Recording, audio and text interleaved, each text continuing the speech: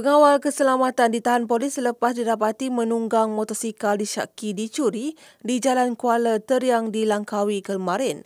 Dalam up lejang pada 12.30 tengah malam itu, suspek berusia 50 tahun didapati menunggang motosikal yang dilaporkan hilang di Kampung Kuala Melaka pada 24 Januari lalu.